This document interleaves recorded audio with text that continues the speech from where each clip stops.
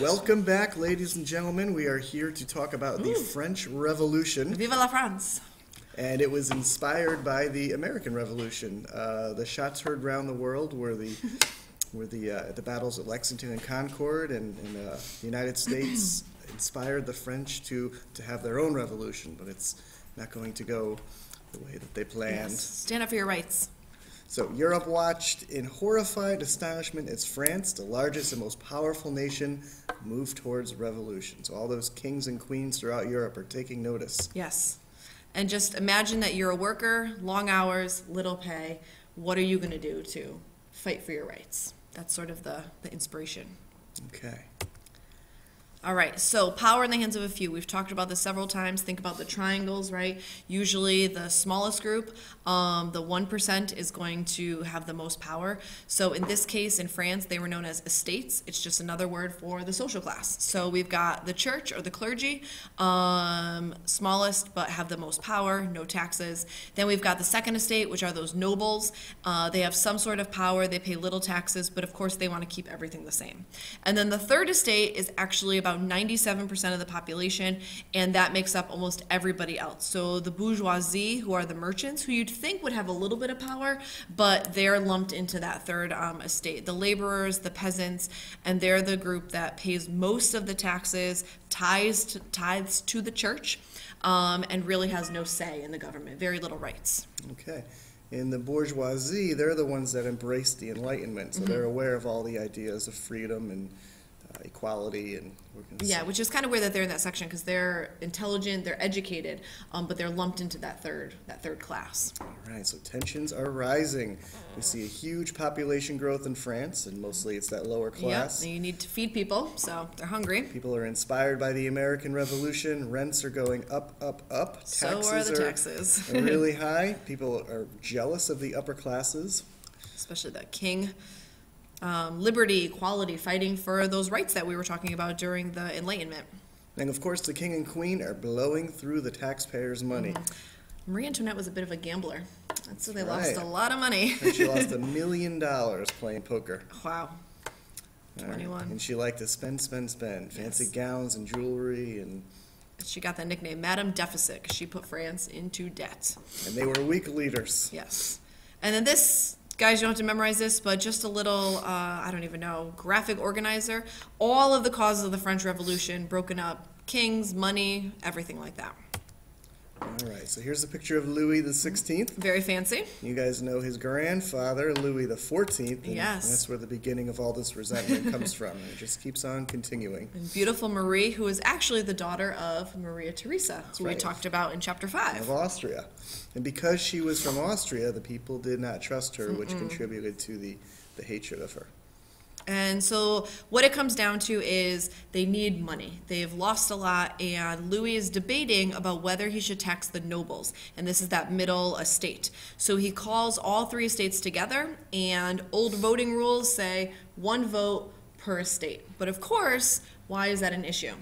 Because the lower class will not be equally represented. Exactly, because it's just one vote. So two to one is always going to win. And if you tax the rich, then you're going to lose their support. So the king is in some trouble here. So the third estate decides, you know what, we've had enough of this. Um, we want to separate ourselves. Um, they call for to call themselves the National Assembly. They want to get rid of the old regime or the old way of doing things, and they think that the people should vote individually, kind of like we do today. But like we said, Louis orders those original voting rules, and so one and two can always outvote three. And like we said, the rich are going to want to keep their money, keep their power. There's no way they're going to want to pay taxes. All right. So the third assembly goes to uh, to meet up, and they're locked out of a room. Yes. So they find a tennis court, and they, all the members go in there, They and play a little game of tennis. they Is that how they uh, made their decisions? so they all agree to, to nobody leaves the room until they draw up a new constitution. And uh, Louis the Sixteenth is, is a little bit worried. He's going to station guards around his palace for protection. Yep. And the uh, the third estate, if you're gonna start an uprising, you need some weapons, and so they're going to storm the Bastille, which was a prison slash armory, and they are going to try to get weapons and successfully take over um, the Bastille. July 14th is known as Bastille Day in That's France. Yes. And we have the Great Fear. There were rumors that the uh, the attacks are going to spread. People started rioting, burning uh, legal records. Uh, the women of Paris are going to break into the palace, Go ladies. demand that Louis XVI and Marie Antoinette return to Paris, and uh, and their leaving is going to signal a great change. And uh, these were these were scary. These uh, in in the for the Bastille, uh, people people were parading around the streets with guards' heads on spikes. Yes. Um, women were going around with knives and axes. I know the ladies were really upset about not having enough food to feed their families, and so they were really taking arms, taking up arms. So this revolution went a little bit differently than the American Yes. Revolution. And so again, the storming of the Bastille. There are some images, and this is going to be. Um, they called it like the symbolic act of revolution. This is going to be the start of, you know, what's going to be happening. You don't have to do that assignment, guys. We'll tell you what your homework is. So the next four sections will continue the story of the French Revolution. Okay, we didn't go away. Um, so revolution begins. So where we left off, the great fear, terror spreading throughout France. Who's mad at who? Who's gonna, you know, risk their lives, and who's gonna pay the price? So even looking at that picture, a lot of people getting marched to their. Uh, looks like they're getting marched to their death. And we're going to talk about that machine right oh there yeah, at the end it of was invented by a doctor. Interesting. Yes. So the old regime is dead. So the old way of doing things. The Declaration of the Rights of Man and Citizen sounds a lot like the Declaration of Independence. We've got our motto, our slogan: liberty, equality, fraternity. So a brotherhood. We are all together in this, rich or poor, and essentially we want to fight for our rights. To party. to party. And again, get that money, get those other people out of power, and have more equality and more of an equal say. Louis and his family are going to try to escape, and they weren't very slick about it. They're wearing their regular clothes and on main roads, and they didn't get very far. um, so they're going to have to go back to Versailles. Silly, silly Louis. So officially, Louis is the king. Um, but we see another constitutional monarchy, just like we uh, left off in England. Um, there's going to be um, a legislative assembly, kind of like the parliament, I guess we could say. And they're going to be segregated or separated um, based on their, um, I guess, stance. So the radicals are going to be on the left. Um, they want a lot of change in government. The moderates are going to be in the middle, um, some minor changes. And the conservatives are going to sit on the right. Um, and they want very few changes, um, if if any, uh, in the government. And we see some of this now, like left, right, center. Yep, the Democrats are the left, the radicals, the Republicans are the conservatives, and some people are, are in the middle. Yep. Um, so we've got the haves and the have-nots. So the haves, the very fancy, uh, they were known as the emigres, uh, the nobles and the businessmen who uh, fled France, hoping that they could leave, and then they would come back and restore the old way of doing things. Okay. So way to run when the fighting gets tough. And then we've got the sans culottes without knee breeches. And yes, they wore pants. Um, they just didn't wear the fancy pants. These were the workers who wore the trousers, who were in the you know in the trenches, really like fighting for the revolution.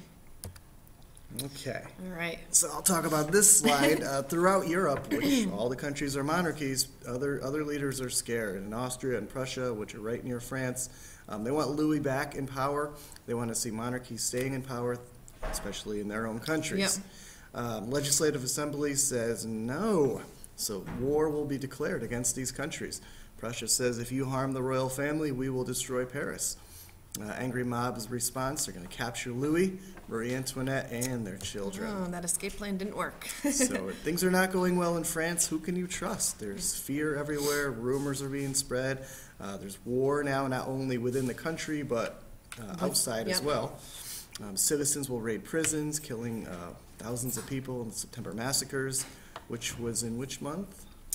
I think September. Very good. Yes. Um, nice fall day. So they're going to take matters into their own hands. New national convention, they abolish the monarchy. No more monarchy.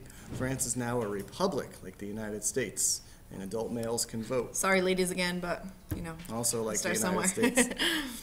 And the Jacobins are going to hijack France, and they are a radical political organization. To the left, to the left. They're going to try Louis XVI for treason. He'll be found guilty, and they're going to be off with his head. But tell me about the new device invented. Ah, yes. Do you say guillotine or guillotine?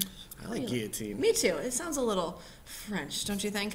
Um, so the guillotine um, was actually invented by a doctor. Um, you know, short story. And the idea was, if we are going to behead people, we want to do it in the most efficient way and try to do it in the mu- most humane way possible. Because there were mistakes made when you just had the axe. You missed people's heads.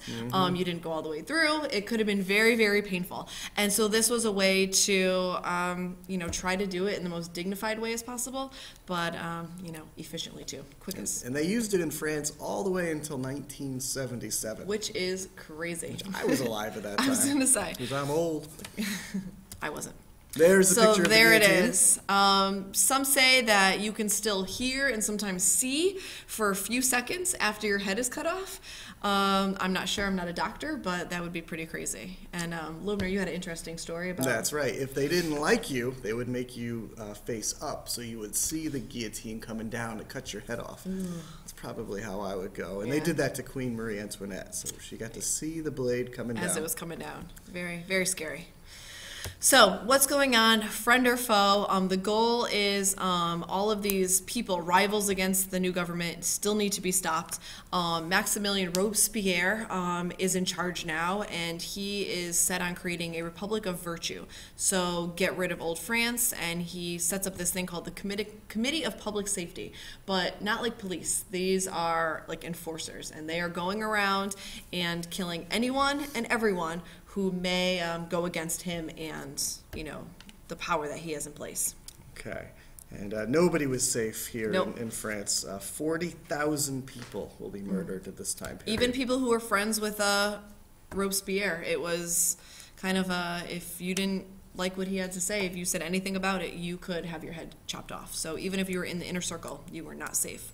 So he acts as a dictator. And one of the interesting things is that if you were convicted in the morning, you could be executed by lunch. It was sort of around the clock uh, executions and beheadings. Absolutely. So France will go from a monarchy to a republic and now to a dictatorship. Yep. But Robespierre will be killed as well. So we're going to have a new guy in town. Napoleon, not dynamite. God, gosh, eat your ham. Napoleon Bonaparte, who we'll be talking about the rest of this chapter. So that brings us to an end to section two. Yes, French Revolution. Liberty, equality, fraternity.